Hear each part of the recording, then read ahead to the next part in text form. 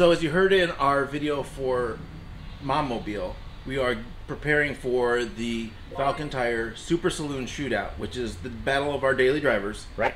And my daily driver is Dadmobile. And to get ready for the shootout, Dadmobile needs a couple fixes. We got an axle that the the CV boot's torn. Uh, the top hats are crazy loud, and um, I got some improvements like the uh, the rear mount that we're gonna try to do today, and uh, Possibly the top mount. possibly the top mount. All right. So, guys, welcome to another episode of VTEC Academy. He's about to get schooled.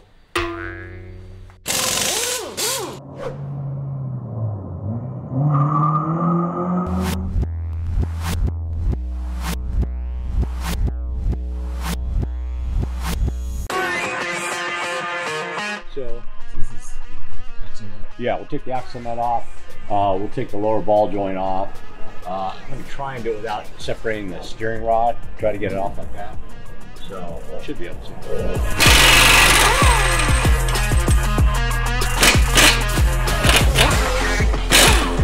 Yeah, you can see the grease coming out there. Doesn't take much of a hole for the grease to come out because of the centrifugal force of it spinning. Oh man, it got all up on the Yeah. knuckle and stuff. All right, we're gonna have to disconnect the sway bar so we can pull this little control arm down, and we should be ready to go.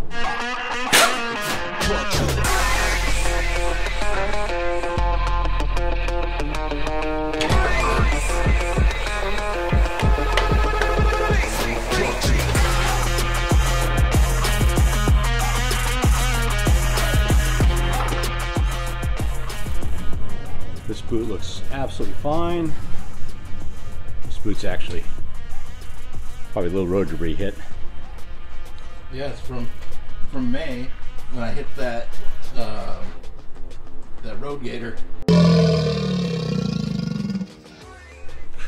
Yeah.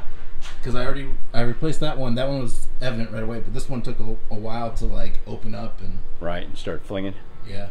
All right. And of course, I noticed it right when I put on some some brand new wheels. Yeah. Let's go ahead and clean this up and then uh, we'll put your uh, other axle in. We're actually going to be replacing our axle with a factory axle. Uh, Aaron had one, luckily, that's nice. Uh, interesting, this is uh, the axle that he had put in the car, and it's a remanufactured axle. Axles typically come two ways. They come either new or remanufactured. Now, this one is an actual Honda axle that's just been rebuilt. Uh, not really sure what was wrong with it before. It may have just been uh, dry, and so they decided to do, uh, decided to remanufacture it. But if you look at everything, it's it's identical to this one, with the exception of the fact it's missing this dampener that uh, dampens vibration. So you look at the cut of the um, of this particular inner joint, it's identical. Uh, in fact, this one's stamped with uh, remanufactured. Uh, if you look at the axle bar itself, it has a slight raised area in the center, just like the factory stock one does. All the divots are in the same place. Uh, and then the outer joint is identical too, with the exception of missing this dust shield. So that's actually really nice. Uh, quite often, when you buy an axle from an axle builder, you wind up with one that's all new Chinese parts, and they're not quite as durable. I'm sure you guys have heard uh, horror stories about buying a remanufactured axle and going bad or clicking almost immediately. Uh, this particular one is remanufactured, so we're going to rebuild it. Uh, and uh, it's kind of cool because it's the outer joint that's bad, and that's actually more difficult to do the inner joint. The inner joint can come apart with pretty simple tools. This one takes a little persuasion to get it apart, so uh, we'll show you how to rebuild that. You know, if we lived in Canada, this could just be good rust protection. Good reason to move there. You got two loonies for a toonie? Oh, sorry. Rather than us yakking about everything else we've done, I think we should uh-huh. just go for a drive. Yeah, let's do it. Experience the car and we can talk about it more there. Yeah. No, not good, not enough. I think they'd rather be down here right now. Well, for the most part.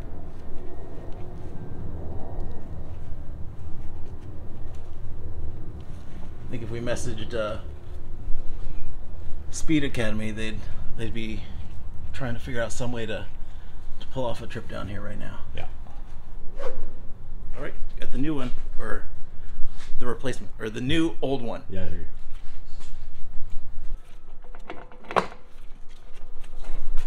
Yeah, I've never done this on a lift before. Doing good so far. There we go. There you go.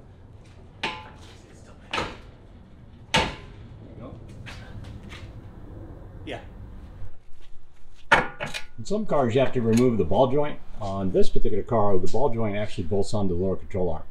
Uh, oftentimes, with Hondas, that's actually part of the assembly, and it doesn't do that. So now, time to bolt it back up.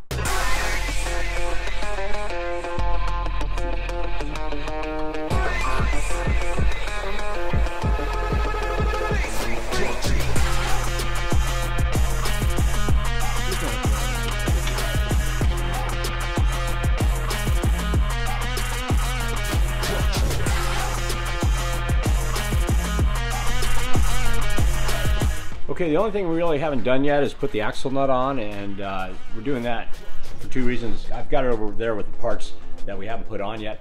Uh, we're gonna wind up taking the knuckles loose from the shocks, and if the knuckle falls away, I don't want it accidentally dragging the axle bar out of the of the inner joint. Uh, that's a pain in the butt to try to, you know, reinstall the bearings while the boot's on. Uh, so we're gonna go ahead and leave that loose. Uh, we'll see how it works out. Uh, but now we're gonna change the strut tops. So we're gonna need to take the strut loose from both the top and the bottom so that we can shift it down, pull the hat out, put the new hat in, and reinstall everything. So as we're starting this project, uh, Aaron says to me, we need to pull these off so we can get to the strut tops. I'm like, no, we don't need to do that. So uh, let me show you what's up. Right here is a little access hole. So these panels come out. They allow you to get in there to the three nuts to get the them loose so we can drop them down. So easy peasy. Yeah, I knew about that, but I couldn't get when I was when Couldn't I get tools in there? I couldn't get tools in there. Ah, well, But you probably have better tools than I do. we shall see. My wife thinks so.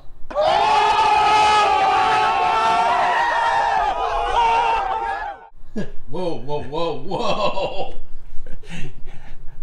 Laura is a saint.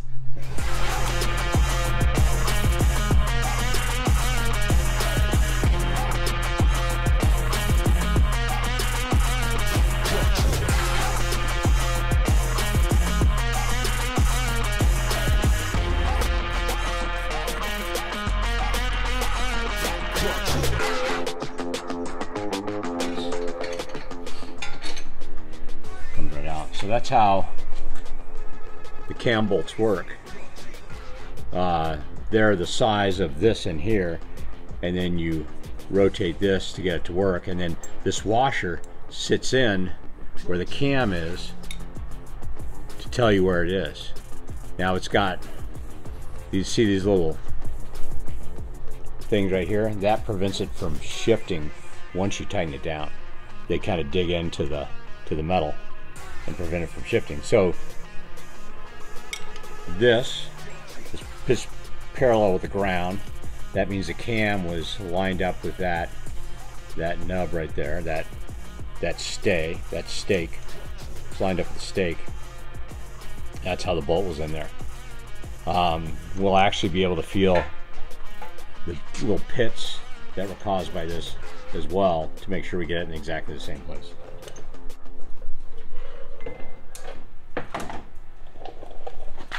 Alrighty. Make it look easy. It is easier on in certain circumstances. These are OE. Now, whether or not these are the exact same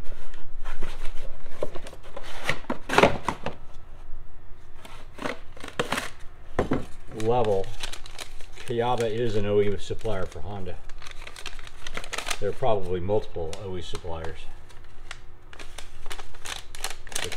Kayaba, I find I have a lot better luck using their stuff. Sweet. Any Does it- special instructions? Does it tell you which way to? We'll need a spring. Uh, we won't. Okay, because you're your because your progress springs. Yeah. If we were putting them on a stock system, the springs would be under under pressure, and we need a spring hole uh, spring compressor, Yeah. which we have, but we don't, so we won't. They look pretty dead on. Look pretty dead on. This one does not make any noise. You think that maybe the wasn't like didn't torque it down enough here? Because it, it makes so much creaking. noise. It does make a lot of creaky noise. No. Yeah, 'Cause it uses those two to to lock them together. yeah. So it's really hard to get um to get it to lock or to get that that one that's in there first to maybe seat all the way. Yeah. So the question is, the aluminum is the aluminum rocking on this? You know what I mean, or is it flat, flush up against it? So we'll look at the the aluminum hat and See if it's make sure that it's not. Yeah, looks like it's flush. I'm sure that's cut with enough chamfer that it doesn't rock on there. So what did you use to get down in there? It was um, it was just a regular socket, A regular socket? but I had I had these all the way down, and the Okay. So you were able to get this to poke up out? yes, but maybe it, it didn't get enough. No, it feels like it's enough. It's just odd that And this is super. I don't know, it's like as if something's been falling down onto it. No, it's well, it's it's gonna fall down like that, but that shouldn't make your. That really shouldn't make your noise. I mean, that rat might rattle a little. Yeah, but that doesn't make up. Yeah, but that doesn't make the the creaky noise. Well, let's try replacing them. See if the noise goes away. You want to go down four turns total, which is fine. Here we go. One.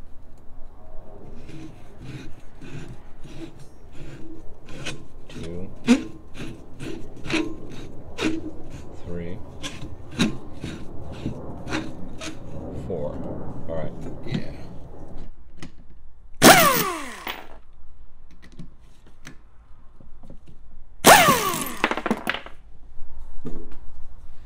So clearly this is machined to seat and not and not rock. So that should be fine. So let's just try it again with the new strut top and see if the noise is not rocking. These aren't gas charged. Mm-hmm. That's why that does that.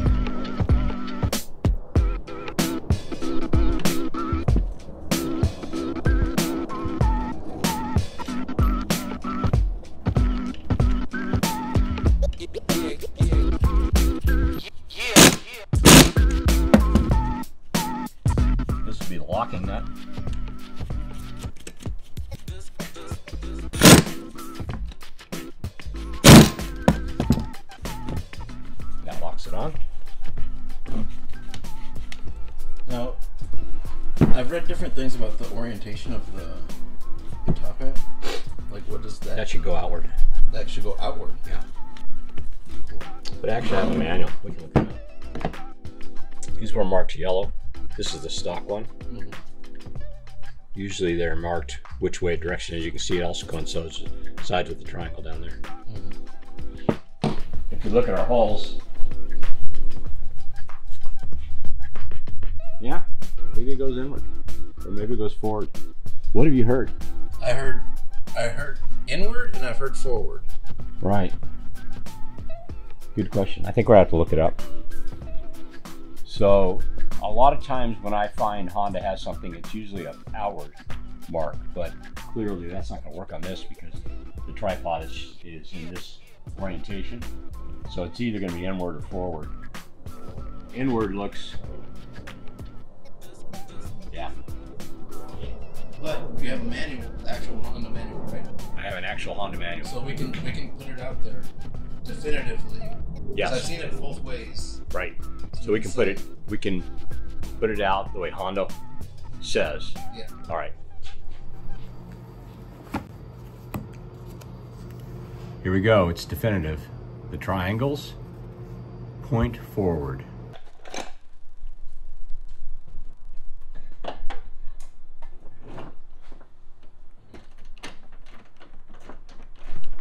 After just a little bit of internet searching, uh, we this is an SPC cam bolt that's up on top, and they uh, specify 77 foot pounds. Uh, the bottom bolt is a Honda bolt, and uh, the consensus, consensus is about 70 foot pounds.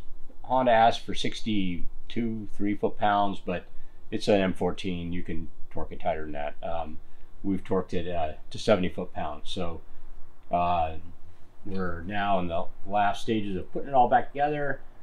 And uh, uh, Aaron, uh, regardless of the fact that it, it looks like he might be behind the camera right now, is actually working on the other side. He's gonna he's gonna install that one over there. So because I don't work, I don't do all the work here. Just most of the work. Just most of the work. Hey, this isn't Carter's car, so you're not going to have to do all the work. Exactly right. You don't need to keep your hands clean for the interior or anything, do you? Oh. I didn't know that was a thing. I always figured you could wash them. Yeah.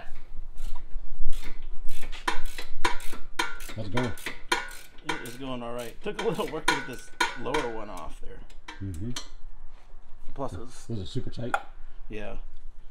I'm gonna lower this this side just like the other side. I'm gonna go down four turns and call it good because the front, the way the front fenders are cut, it kind of gives it that uneven appearance. Right. So just gonna lower a little bit in front because I can't go any higher in the back.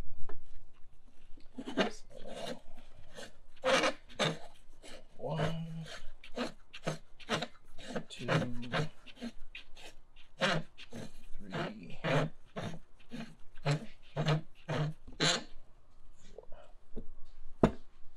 So now should be perfect. Yep.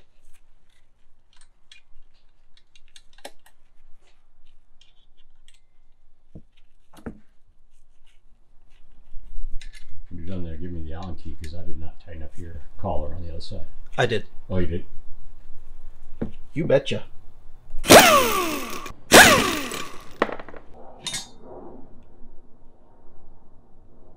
kind of extend the shaft out a little too. That's what she said.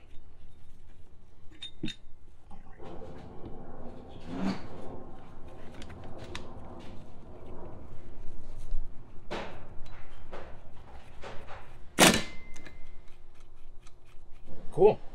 All right. So this one should be, Installation is reverse and removal. and the arrow goes to the front. So it says in the manual. So says Honda. Last but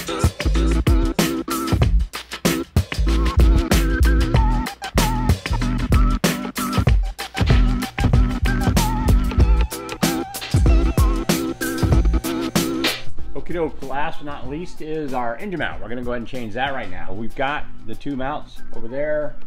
The part number for this is FDRR for the FD2. It actually works on any of the K series powered 06 to 11 Civics, including the Type R. But anyway, just two bolts actually, so it's pretty easy to take off.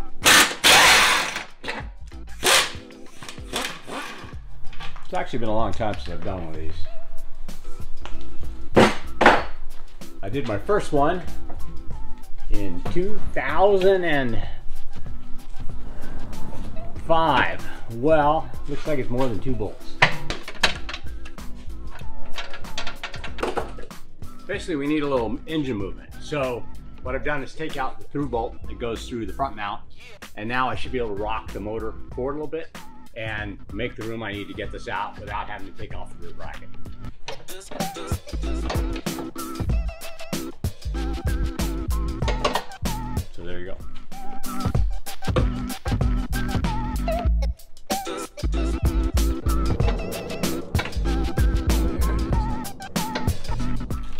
Install the front bolt first because once we get this in, we can actually use the engine to push the mount back into position. Since you're not tracking this on a regular basis, 62 is fine. Um, you're going to reduce the engine movement quite a bit. A lot of people that are running uh, turbos or headers, uh, the 62 mount actually reduces the movement enough. It keeps uh, exhaust from hitting because the header systems that they build for these cars, in fact, I have one here somewhere. The pivot for this exhaust is up here. The pivot for this exhaust is up here. So when it moves, it, it goes like this. But since this doesn't, if you've got this in and you have a stock mount, quite often this will lift and it'll make contact with the tunnel. Uh, because that's actually even you know, a couple of degrees of engine movement is going to make this lift up quite a bit and that'll make contact. So a lot of times companies like Skunk and K-Tune will recommend you get a rear mount to go along with this. Uh, if you're launching on a sticky tire, you may want a stiffer rear mount so you have even less engine movement. Uh, luckily, because of the way this mount is designed, it's really meant to limit the amount of travel the engine can go forward under acceleration.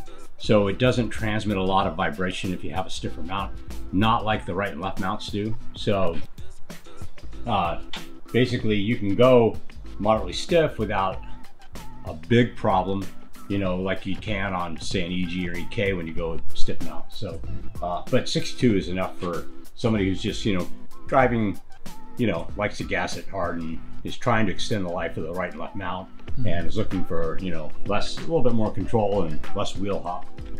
On the nut that goes in here, there's a stake that comes down. It actually goes into a, a little lifted piece of metal to hold it still so that you can tighten it down without having to use two wrenches.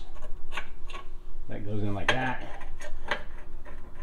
The front mount, by the way, is not rigid at all. Um, it's more of a limiter than it is an, an actual, you know, engine mount.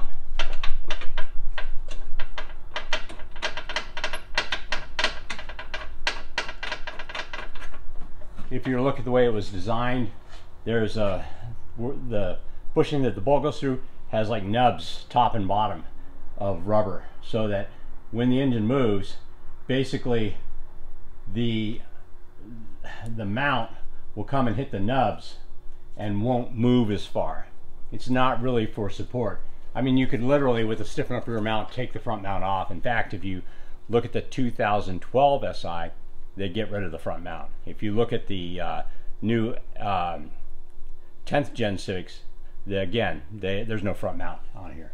So you can put it on, you can leave it off, your choice.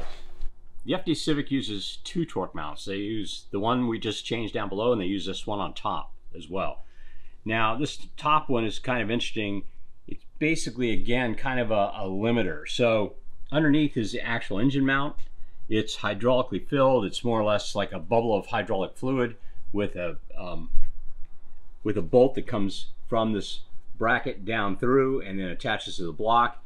So the engine is kind of resting on this uh, balloon filled with hydraulic fluid in order to minimize vibration. The problem is that's not very uh, strong. If you look at like EK Civics, which have a similar thing on their driver's side, those things rip all the time. If you look at the RSX, if you go out and hit that one hard on the rallycross, it rips that mount all the time. So Honda's solution was to put this torque mount on top to prevent it from getting ripped out with a lot of movement. Now, because because it more or less limits movement right and left and doesn't support any of the weight, very, very little vibration. Now, these mounts aren't particularly strong, so if you are going to do a lot of driving and you want to extend the life of the mount that you have underneath there, but you don't like vibration, I would suggest using the Hasport upper torque mount. Again, because it's solid, there's going to be less movement, but there shouldn't be a lot of vibration transferred to your car because the engine still rests on the hydraulic filled mount and uh, that will keep it nice and smooth at idle. So we're going to replace this now.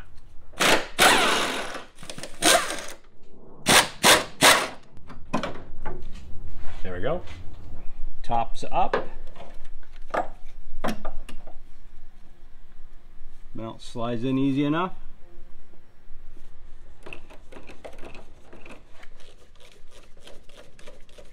Would you recommend this kind of setup for somebody that their daily driver kind of? I would, I would totally recommend this for somebody who's a daily driver, using their car as a daily driver.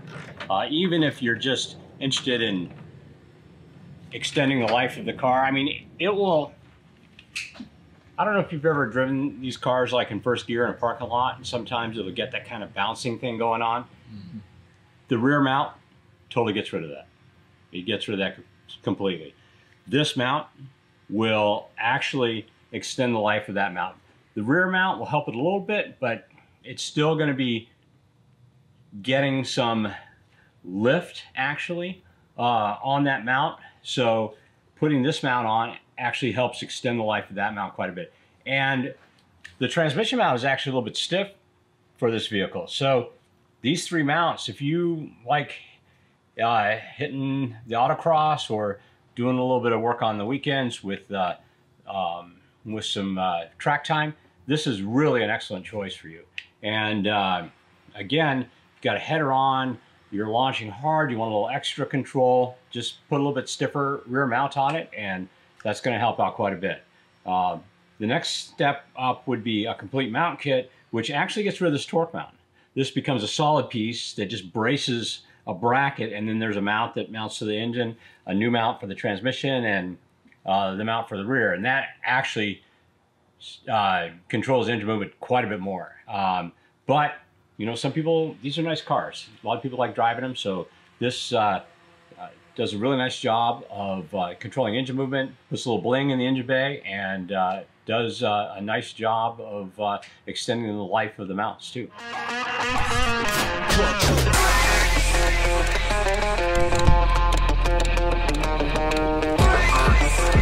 So, car's all back together and ready for a little test drive.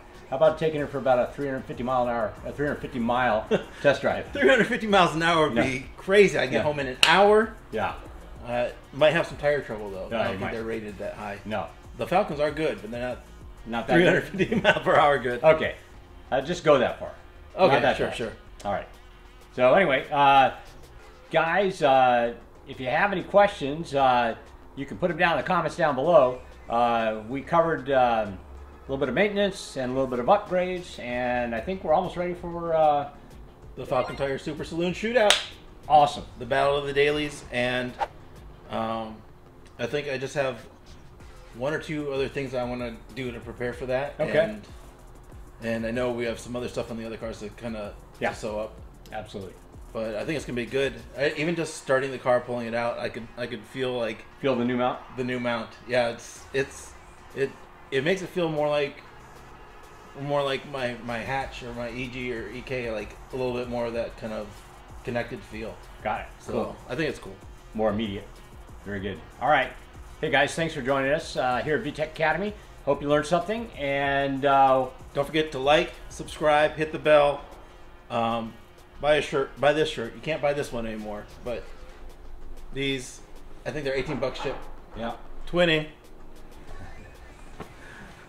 All right, catch you later, guys. Bye.